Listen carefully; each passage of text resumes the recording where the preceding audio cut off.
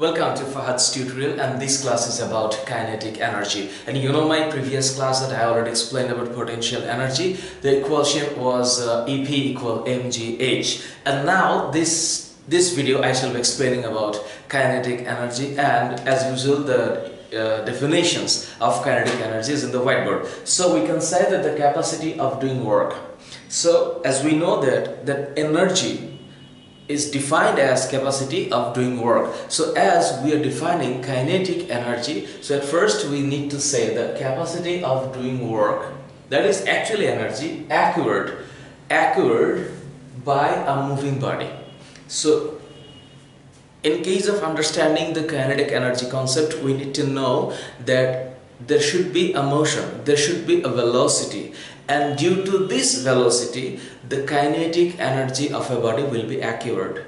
So we can say simply that the capacity of doing work acquired by a moving body due to its motion. So when the capacity of doing something is being acquired by its motion or velocity then it's called kinetic energy. Now we need to think something spatially. So if we say that there is a space like okay there is something uh, in rest.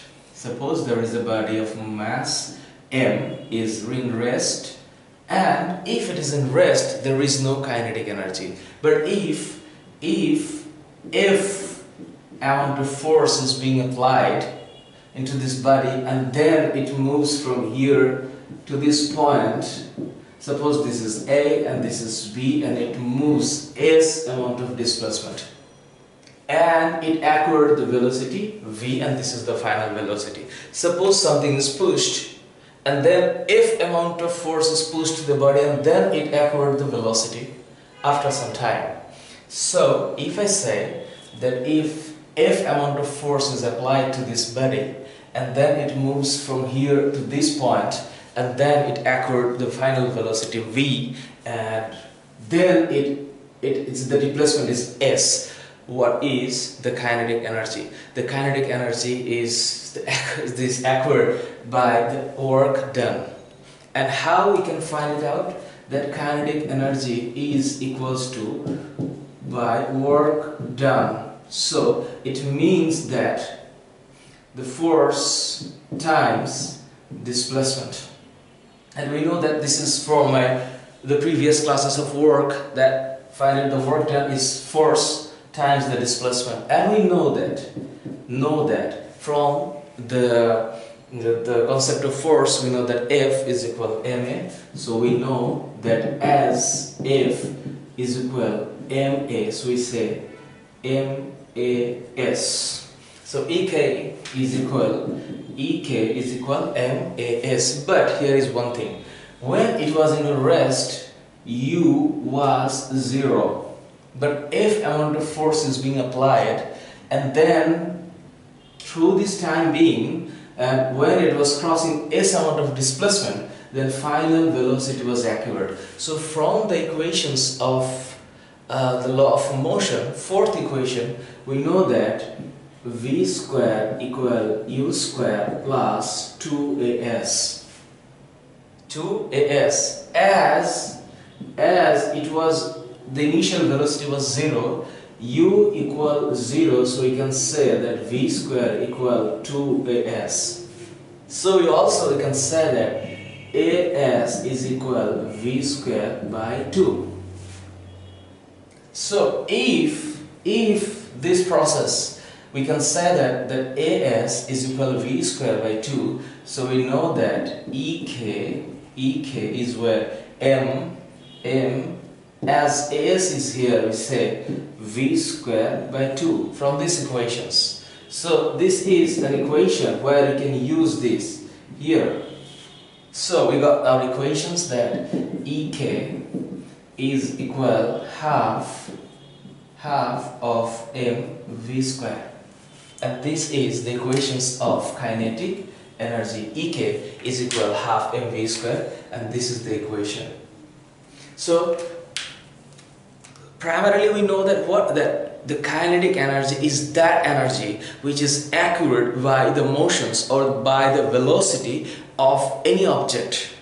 So from this derivation what I say that if if amount of force is being applied to any object and then it crosses s amount of displacement occurring v velocity which is final velocity then we know that the kinetic energy is equal to work done so how we can measure work? Because we know that from the definitions of work, this is the cross product of force and displacement.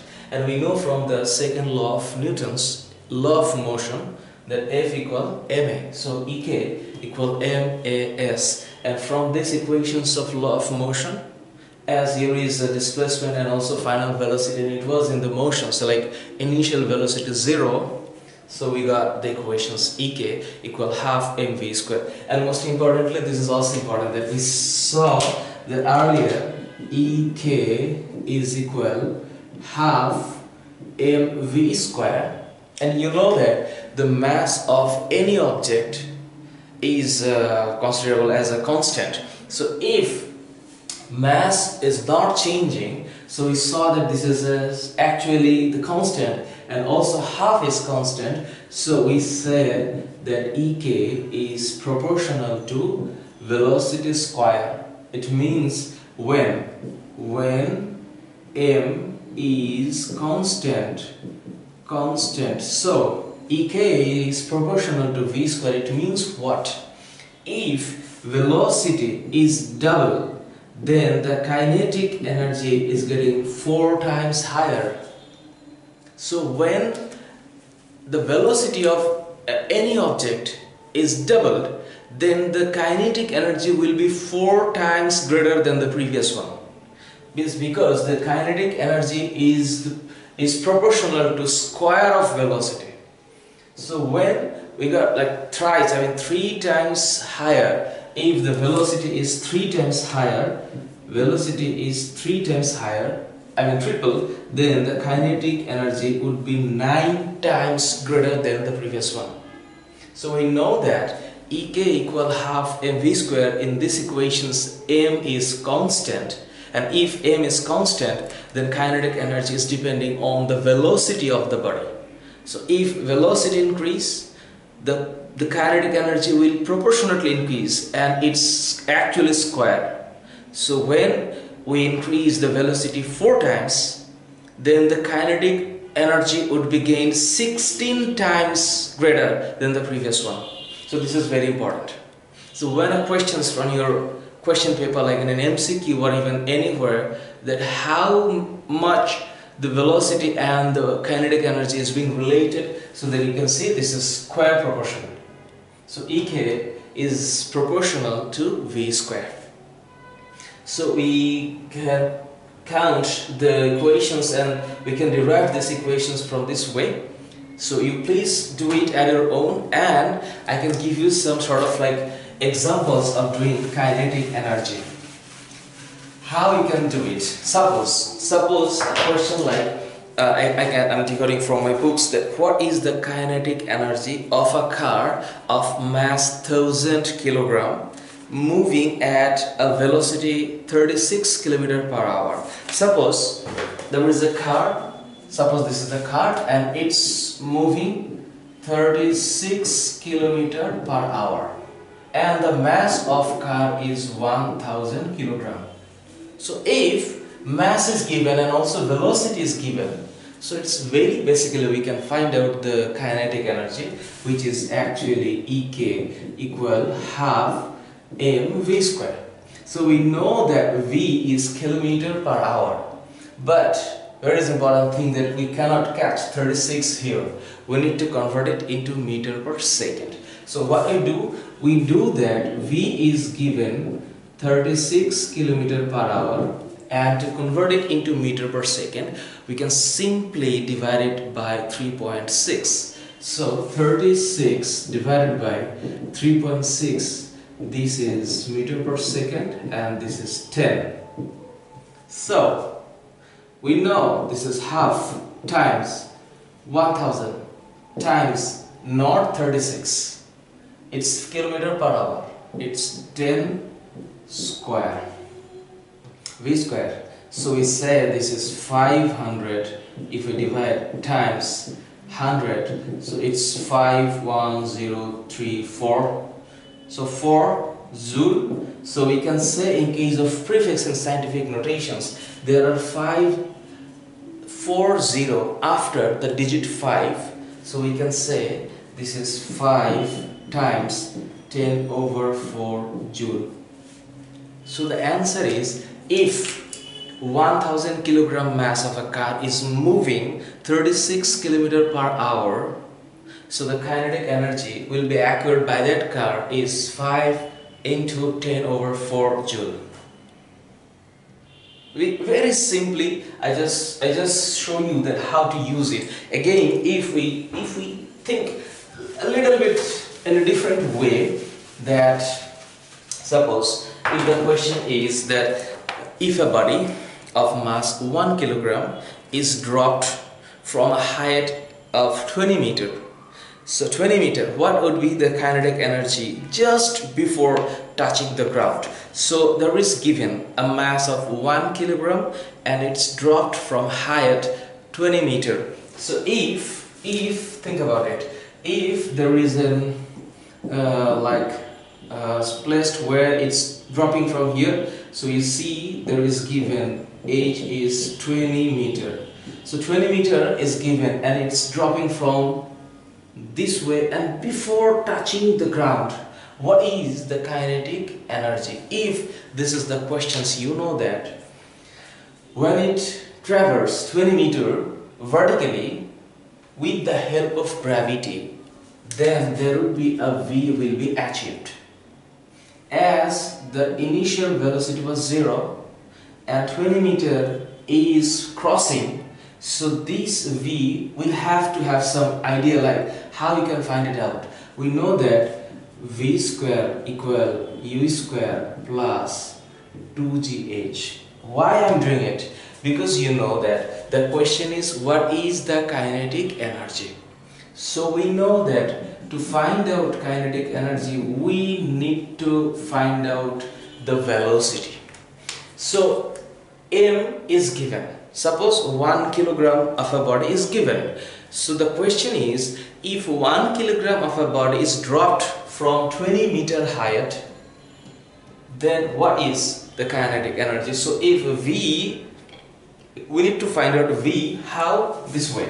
Because here is no time is given only height is given.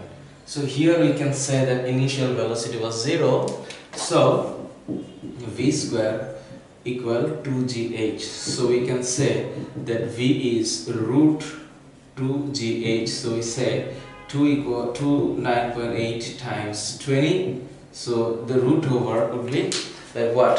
So I can use my calculator with the root okay 2 times 9.8 times 20 bracket close okay it's 19.8 so we said this is 19.8 meter per second.